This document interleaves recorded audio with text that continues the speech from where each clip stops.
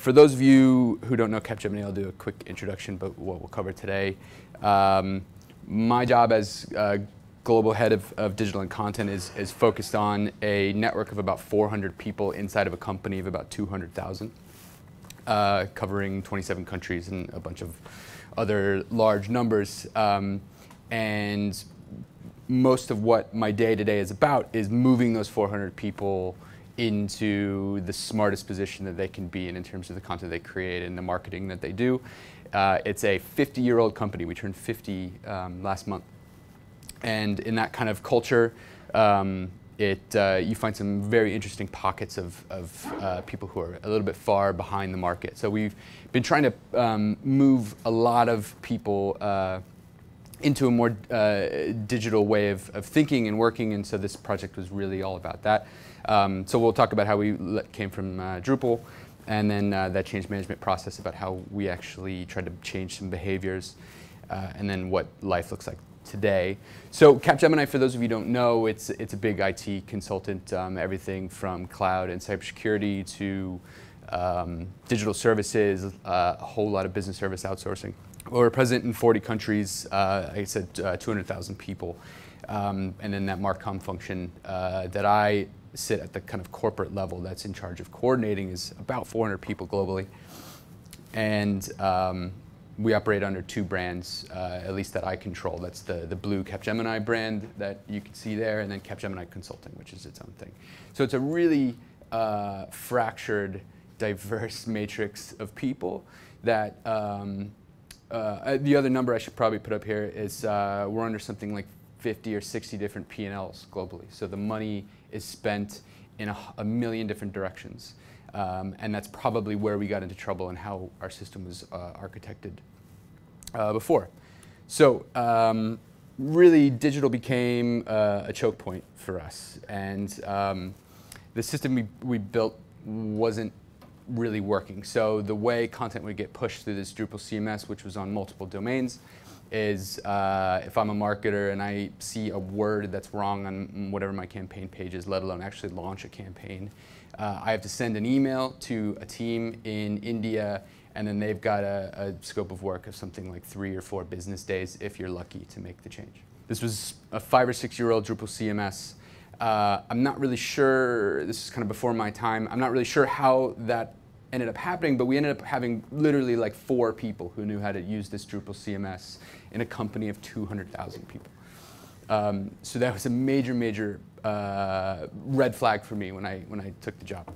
Um, so uh, that was really hard, and uh, pulling all that money together was a, a, a big issue as well. And then uh, we had no connection back to our CRM platform, which is Salesforce and has been rolled out uh, recently. So all of the forms that we were capturing, all of the data, um, that was being done on a, bunch of different corners, a bunch of different websites. Uh, and then our recruitment needs were, weren't being met. Something like 40% of our traffic is recruitment. You might imagine in a, in a company of 200,000, we have to hire something like 30 to 40,000 people a year. So um, the ability to surface jobs on our web properties and actually make them findable and searchable and, and easy to apply was, was a major problem for us. So the, uh, the marketing teams would end up uh, waiting for too long. They would send things through uh, email. Um, Another big uh, budget problem for us was that uh, you know marketers are always trying to get the most custom uh, experience for whatever campaign they're launching, and for us to get a new template built in, in, Drupal literally took weeks or months sometimes, and it cost a lot of money, and everybody hated what we currently had, so we knew we needed something better there as well. Um, and then for me, the, the the biggest biggest problem was that I had this network of 400 people who didn't know how to use websites. Um, they didn't really have an appreciation for what a CMS can do. Uh, they didn't um, think about copywriting and writing for an audience. They didn't think about the connection to social media.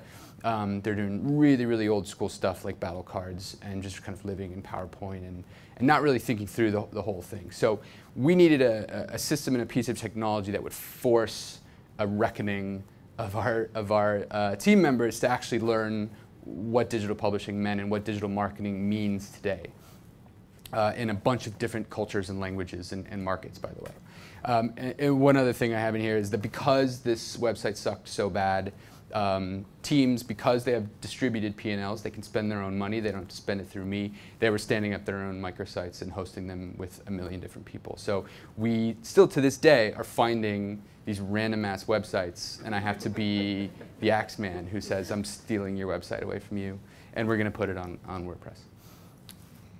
So uh, we kind of knew what the problem was, um, and then we started talking with uh, Human Made, who has been our partner throughout this whole thing, uh, about what we really needed to do. Um, so we needed to make the right technology choice for our business needs. Um, we knew that we couldn't uh, you know, stop publishing for a moment uh, in all of these markets.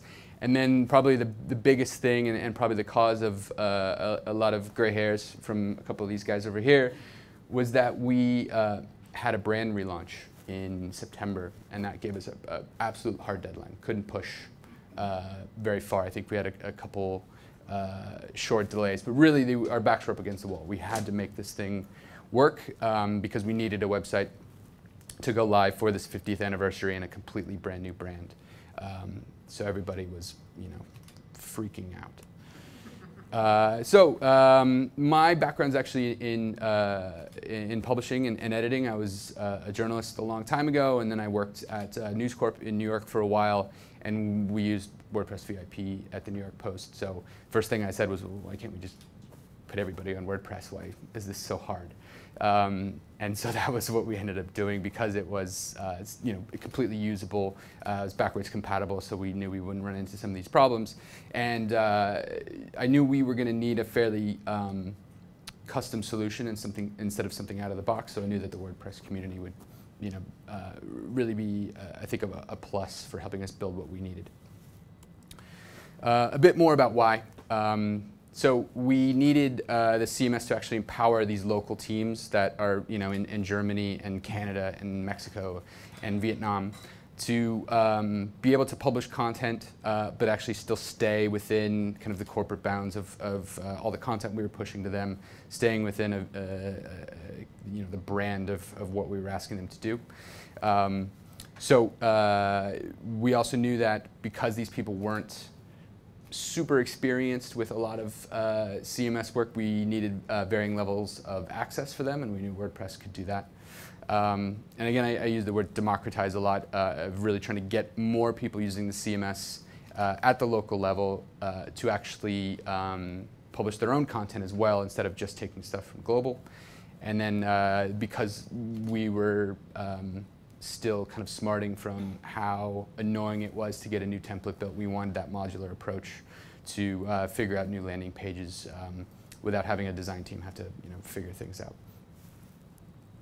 So uh, what we used the technology to kind of push this change. Uh, a lot of it came down to uh, a really complex, uh, I think it was complex, syndication system um, that Human Made built. So uh, we go to market in a bunch of languages, so things had to be translated pretty easily. Um, those local editors had to be able to accept or reject global content being pushed down to them.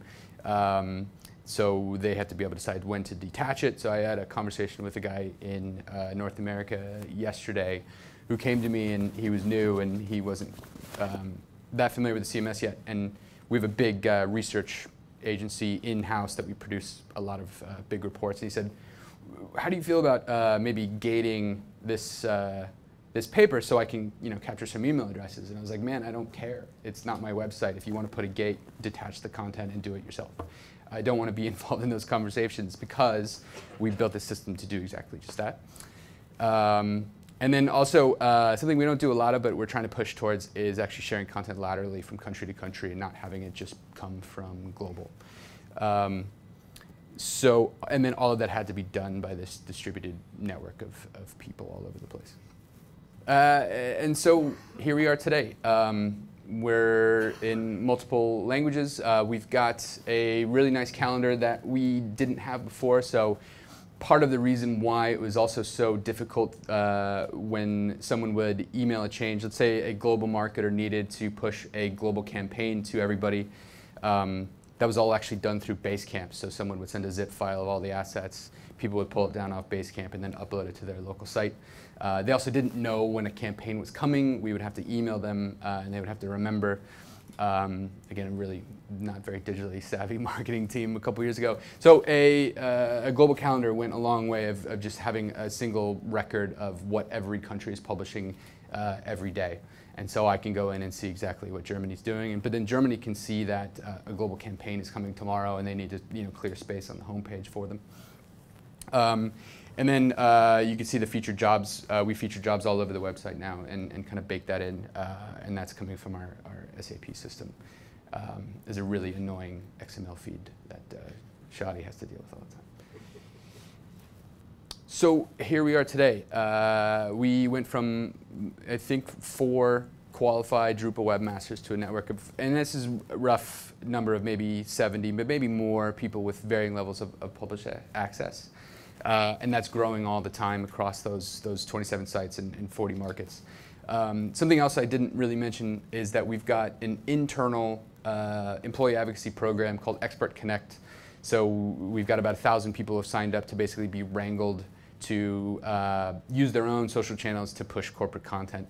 Um, but that also means that they are uh, bloggers and, and, producing content on behalf of the company on our uh, CMS. And um, they hated Drupal so much that we were actually seeing attrition from the program instead of uh, growing. So now we've actually got 700 bloggers as part of the CMS as well, and they're going in there and, and uh, publishing content all the time.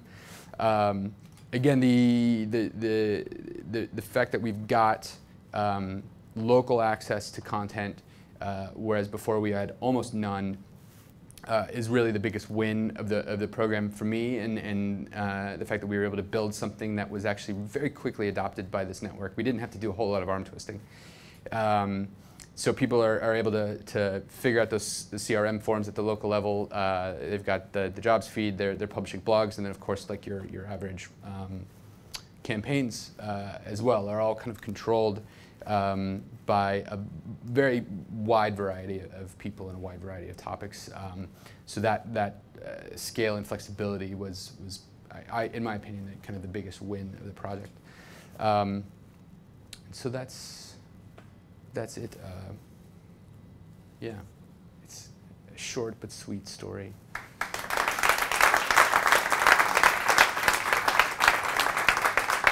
very much, Parker. Um, I'm sure we've got some questions on the floor. I just, I also want to say that it, we should acknowledge that um, there's some very good training going on. Yes. Uh, with the training company is uh, Dash and Kane. Dash and Kane, excellent training company, and they were really interesting to have training really part of the design process as right. well for the admin as well. So that was a really good. They're a great team to work with, and uh, your Max Edge team. So really now within your Marcoms function, there is a, a, a high-functioning WordPress development team now. Yeah. The, the idea would be hopefully seeing them sort of contributing back into this kind of forum as well as like peers of yeah. ours. That's a, a, good way for the story to develop in the future. But uh, questions from the floor. I think Parker would be a good way to go now. Do we have any questions from the floor? Oh, we do have a few. Your project manager seems to have. What could you possibly not know about this project? well, you kind of already alluded to the fact that adoption seems strong, but I want to dig that a little bit further in terms of workflow. Do you find that adoption is strong all the way around, or do people still kind of fall back on bad habits in terms of emailing around a lot, sending documents back and forth, or are yeah. people picking it up pretty well? It's interesting. The the global marketing team that I am closest to in you know management structure and, and budget management, they're all on board. And now this thing is bumping up against a lot of these other global teams like recruiting, like Capgemini Consulting, that whereas before I wasn't even talking to them, and now they are coming to us and wanting to figure out how we figure that stuff out. Um, recruitment is a really, really big one because they're not only worried about how they get those 30,000 people in, but how do they publish content and uh, figure out the employer brand stuff. So we're now working on um, onboarding and, and, getting completely different business units to engage with us. So that's been pretty cool.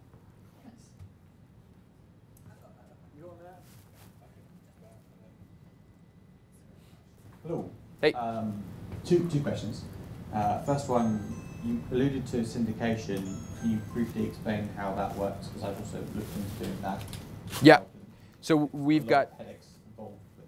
Yeah, and, and um, I think it's kind of still under construction. Um, but basically, we've got a global structure and a global team that's producing content and campaigns that needs to then be pushed to not only local markets, but then uh, sectors and business units just to make it fun.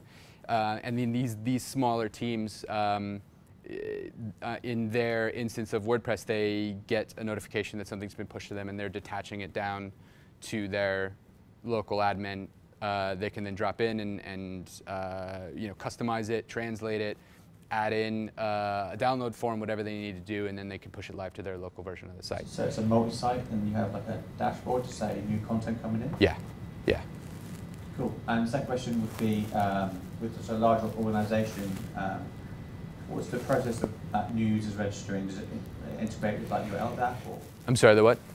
Uh, new user registration, I think, onboarding new admin people and authors and editors. because, Yeah. because with a big company like yours, you can have a lot of churn, people in and out, and managing users can become a nightmare. Then. Yeah, so with that we've got a, uh, a centralized team in Mumbai that is our center of excellence. That's a request goes into them to add in a new user at the um, specific, um, you know, access point. So if they're a contributor or a full site editor, uh, the whole thing's behind uh, single sign-on too, which is again a really big uh, part of the process. So if someone um, leaves our company, then I think you know they won't have access again uh, because they're not in the Capgemini system. They won't be able to access WordPress either.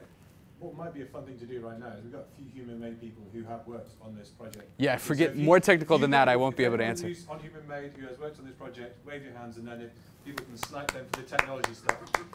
I applaud you all. Uh, stand if you want. Yeah. Okay. So yeah, there's, there's Shadi, there's Rob, uh, uh, John's over there, and Jenny's there, and I think that's probably good. There we go. So I catch you with them later. Uh, time for one more question. Just over here towards the back. What was the um, process you went through to um, choose WordPress, kind of at the organizational level? And were there any barriers you ran into internally in terms of deciding on WordPress as the CMS? It's a good question. Um, there, so the the technical manager who um, who ran the project, uh, it was really just a conversation between uh, he and I. Um, I came in really just saying WordPress. Um, I didn't really feel like doing anything else. Um, the rub and where it got really interesting is that Capgemini has a, a big business unit called uh, App Services that builds Drupal websites for clients. And they, uh, and this is how I think we ended up with it in the first place, is that they want to um, showcase that, you know, if we're selling this, we should be using it. And I had really random people, VPs from, from different business units, emailing me at various courses, uh, at various times uh, during the year, saying like, "Why are you not building a Drupal website?" And we kind of had to like kick them off the truck and say, well, you know, this is happening, uh, and there's nothing you can do about it. So that was come some of the f- stuff we got, but uh, it was pretty much WordPress all the way. I now have a follow-up question. How do we convince them to switch to WordPress? Um, that's a good question. Uh, I, I am at the, the internal marketing side, so I, I don't do a lot of client work. But it was an um, unfair question. yeah, if you need someone to speak on your behalf, um, I'm happy to provide uh, uh, a recommendation. But um, yeah, I, I think they should, to be honest. Thank you very much indeed, Parker. Thank you. It's been a ride. Thank you. It's been a hell of a ride. yeah. Thank you.